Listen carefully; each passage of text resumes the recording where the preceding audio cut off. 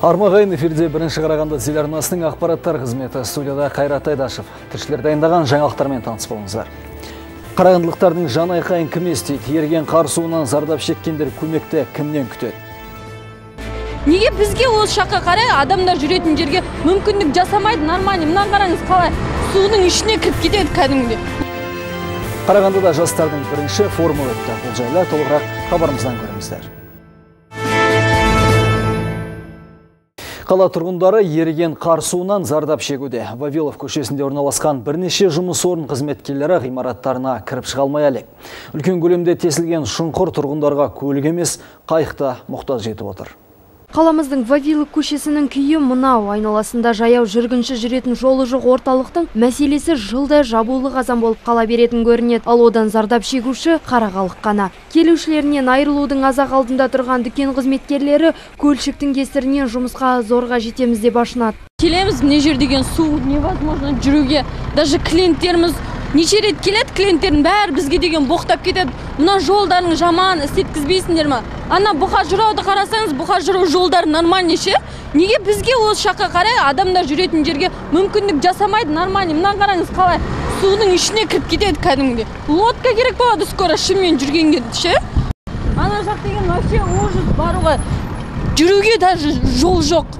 Былай былай аралап аралап келеміз Тротуар жоқ дейсіз. тротуар жоқ иә. Бұл жердің дүкені келушілерін жоғалтып жатса, маңында тұрған қонақ үйінің жағдайы да мәз емес. Олардың да айтар мұңы жетерлік. Я живу с остановки, у меня есть вообще-то машина, но ездить здесь невозможно, потому что машины э, тонут, бьются, поэтому ходим пешком. Пешком здесь дорога не благоустроена. Если по над асфальтом, все будешь весь грязный, потому что машины едут, естественно, водой обрызгивают. А никакого тротуара, ничего нету. То есть никаких мер вот для нашего удобства, чтобы благополучно от остановки сюда дойти, вообще нету. Я не знаю, как должен же как-то кто-то этим заниматься. Летом дождь идет, мы плаваем, а вот сейчас весна вообще нас подтапливает. Машины вон каждый день застревают, разбиваются. Люди мы не можем пройти здесь ни на работу, ни в магазин вот здесь находится, гостевой дом находится, бизнес-центр. И ходим, хоть болотные сапоги одевай. Хотя мы обращались уже в Акимат, писали письмо, чтобы нашу улицу, это улица Вавилова, чтобы обратили внимание. Қонақ үйдің әкімшілік қызметкері Лариса Кокуринаның сөзіне сенсек, келушілеріне ыңғайлылық жасап арнайы тротуарда өздері салыпты. Ол да көңіл көншітерлік емес. Бірі сырғанап құласа, енді бірі бұл жолға сыймай жығылуда. Мы идем, везде грязь, вода, скользко, не пройти, машины брызгают, люди падают. Я сама сейчас упала. Все, надо делать, что-то какие-то меры принимать. Так нельзя больше жить. Шаһарымыздың орталығына таяқ астам жердегі халіне әкімшілік көз қиығын тастаса дейді тұрғындар. Қарағандының 80 жылдық мерейтойының құрметіне мыңдаған шаралар ұйымдастырылып, көптеген мәселелердің шешімі табылуда. Тек осындай көктемгі алдын алу істері жайында түйіндер әлі күнге дейін шешілмей отыр деп ашынады қарашағалық. Бұл неде істеп жүргенімізге уже төрт жылдан асты төрт жылдан бері міне жолдың өзі жөнделмейді уже қанша жерге жаздық и жаловать еттік та и попросить еттік та сонда да мынаның бәрі істелінбей жатыр енді біз ойлаймыз осы қаланың сексен жылдығына енді покупательдерімізді жаловать етеді соның біреуін акиматтың несіне дейін жетер құлағына дейін деп. Осыны жөнделер деп үміттеміз. Сол біз де біздің покупательіміз де соған бәріне де өте құрметпен қарар еді Тылсым табиғат қарды тез ерітіп тұрғандарды әбігерге салатыны жылдағы мәселе. Не жаяу жүргінші соқпағы, не тас жолы жоқ көше әкімшіліктің құлақтарына алтын сырға. Өйткені үлкен шұңқырлар мен балшықты жер тұрғындарға ғана емес, көлік жүргізушілеріне де біраз кедергісін келтіруде. Гүлназия Мирханқызы Ғабиден Қырышбеков, Ернұр Жомарт, бірінші Қарағанды телеарнасы.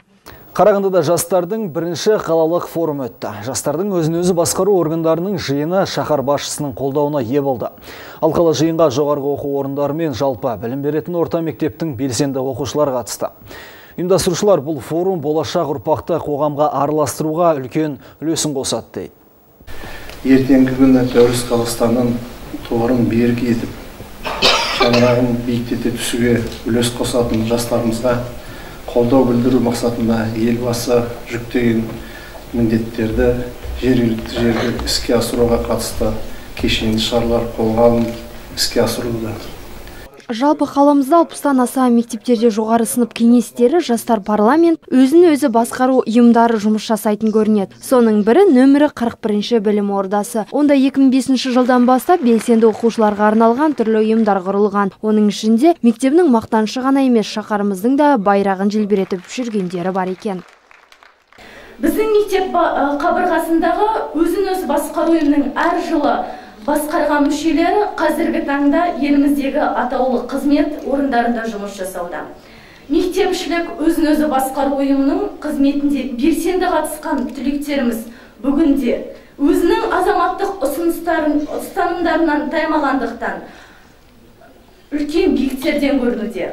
Өзін өзі басқару ұйымының үздіктерінің қызығушылықтары ортақ мақсаттары бір. Дәл осы кеңестің арқасында жастар түрлі мерекелерге атсалысып қоғамға араласып оның бөлінбес бөлігіне айналады. Ал белсенділердің басын қосқан форумның мақсаты тәжірибе алмасумен қатар бір бірінің жұмысымен таныс болу дейді ұйымдастырушылар. Форумның басты мақсаты қарағанды қаласында орналасқан оқу орындарында белсенді түрде қызмет атқарып жатқан жастардың өзін өзін басқару органдардың озық тәжірибесімен бөліну олардың өзекті мәселелерін талқылау соның нәтижесінде белгілі бір оңтайлы шешімдерді табуға жағдай жасау болып табылады. Өзін өзі басқару ұйымы мемлекеттік жастар саясатын жүргізе отырып студенттердің оқу тәрбие шығармашылық және қоғамдық жұмыстарымен айналысады. Жұмыла көтерген жүк жеңіл демекші аталмыш шара шаһарымыздың дамуына өз септігін тигізеді деп сенейік. Гүлназия мейірханқызы қайрат рашитов ернұр жомарт бірінші қарағанды телеарнасы. құрметті көрермендер алда шағын жарнамалық үзіліс көгілдір экраннан алыстамаңыздар көрсетілім демеушісі Galaxy Group компаниясы алюгал галвин херкюль сауда белгілерімен Торговая марка Galvin представляет Эконом-серия профиль Галтек 53 серии Эконом-система трехкамерных профилей монтажной шириной 53 мм представляет собой качественное и экономичное решение если вам нужны внутренние перегородки в магазин, офис, балкон или лоджию, это ваш профиль. Стандартная система «Профиль Галвин». Профиль Галвин 60 серии. Это система четырехкамерных профилей с монтажной шириной 60 мм. Идеально подходит для любого климата и региона. Система стандарт относится к классу А, а значит полностью соответствует современным требованиям качеству оконных и дверных профилей. А теперь новинка. Серия «Эксклюзив». Пятикамерный профиль Галвин 70 серии. Монтажная ширина 70 мм. 5 камер и наличие дополнительного паза для резинового уплотнителя значительно повышают тепло- и звукоизоляцию. Толщина лицевых стенок 3 мм. Помимо белого цвета, профиль Галвин выпускается в шести цветах. Золотой дуб, махагон, мореный дуб, темно-коричневый, орех и серый. Но и это еще не все. Имеются профили односторонние, внутренней и наружной ламинации всей цветовой линейки. Все профили торговой марки Galvin и Galtec не содержат свинца и на 100% соответствуют санитарно-эпидемическим нормам. Профиль Galvin – морозостойкий, надежный, прочный. Жаңалықтарымыз жалғастырамыз. Нұр Отан партиясының ғимаратында Қарағанды облысы ауыл шаруашылығы тауар өндірушілерін қолдау мәселелер бойынша семинар өтті. Жиында агробизнес 2020 мемлекеттік бағдарламаның механизмдерін жіті меңгеріп отырып, жүзеге асыру жайлы сөз қозғалды. Сонымен қатар аталмыш бағдарлама аясында Казагро холдинг акционерлік қоғам басқармасының даму институты арқылы ауылдық тауар өндірушілерін несиелеу де тілге тиек етілді. Отырыста облыс әкімінің орынбасары Ғалым Ашимов бүгінгі аймақта ауыл шаруашылығының қарқынды дамып жатқаны жайлы тілге тиек етті. Өткен жылдың қорытындысы бойынша көп мөлшерде тауар саласы 12 пайызға және 148 миллиард теңгеге дейін өскен. Сонымен қатар ірі қараның етін экспортқа шығару жобасы дамып, облысымыз республика көлемінде сыбаға бағдарламасы бойынша алдыңғы қатарды иеленуде. Ауыл шаруашылығын өндірушілер Қазагро холдингінің ұсынған қаржылық құралдарын өз пайдаларына жаратуды сөз еткен Қайрат Айтуғанов алдағы уақытта бірнеше жобалардың іске қойылғанын айтты. Қарағанды облысында көп жобалар бар бірінші жобалар. Енді қазір бірінші нетқан қазір міне науқан басталайын деп жатыр қарағанды облысы қазақстан бойынша міне спк арқылы өткен жылы гарантия арқылы осындай шаруа қожалықтарға несие беретін. Ол несиені он екінші он үшінші жылы қарағанды облысы бәрін жауып енді қазір республика бойынша қарағанды облысы бірінші орында оның бәрін жауып осы жылы міне алты жүз жиырма миллион теңге осы қазір науқанға беріледі. Семинар барысында басты мәселелер мен оның шешу жолдары жайлы сұрақтар көтеріліп басқа да жаңа жобалар ұсыныс ретінде қабылданды оның ішінде kz солар жауапкершілігі шектеулі серіктестігі тоқ өнімдейтін шағын электростанцияларын орнатуды жоспарлауда. Уже в течение полугода работает система на крестьянском хозяйстве. Күн батареясы ауыл шаруашылық өнімдері үшін тиімді. Бұл жоба осыдан жарты жыл бұрын жүзеге асқан болатын. Қазір Ақтоғай ауданында орнатылып, көңіл көншітер нәтижелерін беріп жатыр. Біз бүгінгі жиынға басқа да жобаларымызды ұсынбақпыз. Алқалы жиынның қорытындысы бойынша Қарағанды облысы әкімшілігі және Казагро холдинг кашық қоғам басқармасының өкілдері бірлесіп жұмыс атқаруға бағытталған меморандумға қол қойды айман сағатай қайрат рашитов ернұр жомарт бірінші қарағанды телеарнасы Шет тілдер колледжінде студенттердің білім сайысы ұйымдастырылды. Қарағанды менің мақтанышым атты шара 8 тілдің аясында жүргізілді. Бұл сайыста білімгерлер қаламыздың ерекшелігін өзінің қалаған тілінде көпшілікке таныстырып өтті. Жылдағы дәстүрлі шара бұл жолы қаламыздың мерейтойына арналды. Қалалық колледждер арасындағы конференцияға кубуп шет тілдер гуманитарлық колледждері қатысты. Конференцияға әр пәннің мұғалімі өз саласында студенттер даярлаған. Білімгерлер қазақ түрік испан итальян жалпы сегіз тілде өз білімдерін сынады. Сайыста 16 үміткер сынға түсті. Студенттердің өзінің сүйікті қаласы қарағанды туралы мәліметтерін толық білуі тарихын мәдениетін ұлы адамдарының өмірінен мәлімет беру. Бұл конференция бізде жыл сайын өткізетіндіктен студенттердің бұдан алатын тәлімі мен тәрбиесі өте мол деп айтуға болады.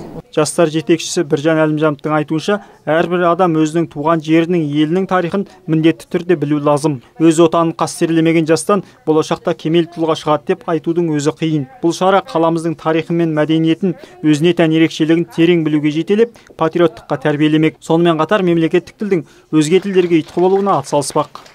Қазақ тілінің мемлекеттік тіл деңгейіндегі абырой өте асқақ болу керек бірақ сонымен қатар әлемдік деңгейдегі аймақтық деңгейдегі мемлекеттермен керегесін кеңейте алатындай болу үшін өзге тілдерді білген абзал.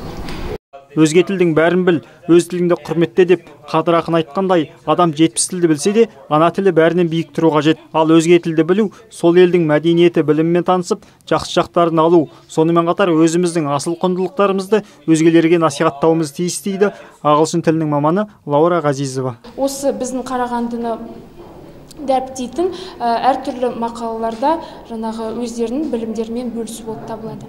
Our today's scientific practical conference is devoted to, the, uh, to our beautiful and favorite city, Karaganda. Today we are going to celebrate our anniversary. Excursion, we want to show the proud name of our city. Біздің дәуір білімді жандардың алға озған кезеңі. Білімді жастардың сайысында барлық қатысушыға сертификаттар мен сыйлықтар тапсырылды. Жаңабек Наров, Ғабиден Құрышбеков, Ернұр Жомарт, бірінші қараған телеарнасы. Аурудың жақсысы жоқ. Әсіресе асқынып қатерлі ісікке апарып соқтыратын ауруларды емдегеннен гөрі алдын алған тиімді. Бұл қаламыздың нөмірі үшінші емханасының дәрігерлерінің пікірі. Барша тұрғындардың скринингті дер кезінде өтіп тұрғаны өздері үшін пайдалы дейді мамандар. Еліміз бойынша 2009 жылдан бері скринингтің үш түрі артериалдық гипертензия сүт без обыры және жатыр мойны обыры скрининг енгізілді. Қазір ол ұлттық скринингтік бағдарлама болып кеңейтіліп 11 түрлі скрининг ел тұрғындарының 30 пайызын қамтиды. Оның ішінде алты скрининг түрі қатерлі ісік ауруларын ерте диагностикалауға бағытталған. Ақалаттылардың зерттеулерінің басты мақсаты ауруларды ерте кезеңде анықтау белгілі бір. Ауру түрлеріне шалдығу тәуекелі бар тұрғындардың мақсатты топтарын тексеру ауруларға соқтыратын тәуекел факторларын анықтау болып табылады. Как скрининг проводится бесплатно. Э, проводится он э, э, высокоспециализированными методами, экспресс-диагностика проводится, скрининг проводится раз в два года. Ал қаламыздың Назарбаев зияткерлік мектебінде болашақ инженерия тақырыбында төртінші наурыз кезесі ұйымдастырылды. Экспо 2017 қарсаңында өткізіліп отырған бұл шара инженерлік салаға арналды. Толығырақ салтанатты ашылуға қатысып қайтқан тілші бейне материалында. Назарбаев зияткерлік мектебінің өткен кезекті наурыз кездесуінің мақсаты қатысқан оқушылардың білімдері мен зияткерлік қабілетін тереңдету ой өрісін дамыту олардың ғылымға және болашақ мамандығына қызығушылығын арттыру. Салтанатты ашылуда алғашқы сөз кезегі қарағанды облысы әкімінің орынбасары бейсенбай жұмабековке табысталды. Қатысып отырған біздің қонақтарымызға сонау шетелден келіп жатқан қонақтарымызға әрбір қазақстанның түкпір түкпірінен келіп осы ғылымға деген осы болашаққа деген үлкен махаббатын алып келіп осында біздің бүгінгі болашағымыз еліміздің болашағы сіздер боласыздар. Сондықтан осы кездесуіміз құтты болсын деп сіздерге табыс тілеймін құрметті ағайын. Кездесудің нақты жоспары шетелдік және қазақстандық ғалымдардың дәрістерін оқып баяндамаларымен таныстыру жиынға келген қонақтардың тізімінде назарбаев университетінің инженерия мектебі профессор ассистенті джозефер миникучи және кембридж университетінің докторы лиза миллерман оқушылар алдында өз тақырыбында дәріс бермек of Мен бұл кездесуге күн энергия, болашақ энергиясы ма деген тақырыпта өз тәжірибемді ала келдім. Осындай дарынды оқушылардың алдында дәріс оқу мен үшін мәртебе деп санаймын. Жоғарғы аталған тақырып болашақта өз үлесін береді деген сенімдемін. Қарағанды қаласының химия биология бағытындағы Назарбаев зияткерлік мектебінің директоры кездесулердің мақсатын түсіндіріп, алыстан келген қонақтарға жол лебізін білдірді. цель встречи наурыз кездесудің мақсаты балаларға болашақ мамандығын таңдауда үлесімізді қосып болашаққа деген ынталарын арттыру аймақтың түкпір түкпірінен келген оқушылар саны 165 адамды құрап отыр. Шетелден келген қонақтарға ризашылығымыз шексіз. Көкшетау қаласынан келген нұржан ғамзенің айтуынша аталмыш шара қатысушылардың ой өрісін кеңейтіп болашақты бағыт бағдар сілтемек біздің елімізде жаңағы технология қарқын дамып жатыр. Осы дамуға атсалысуға біз өзімізді міндетті деп санаймыз. Осындай кездесулер жастардың болашағына мол септігін тигізеді деген ниеттеміз. Айман сағадай қайрат рашитов ернар жомарт бірінші қарағанды телеарнасы. Құрметті көрермендер бүгінге келіп түскен жаңалықтардың реті осындай болды. Егер де қандай да бір қызықты ақпараттарыңыз болатын болса редакциямыздың қырық екі нөл алты қырық тоғыз телефонына қоңырау шалуды ұмытпаңыздар. Мен өздеріңізбен қоштасамын. Демалыстарыңыз сәтті өтсін ағайын.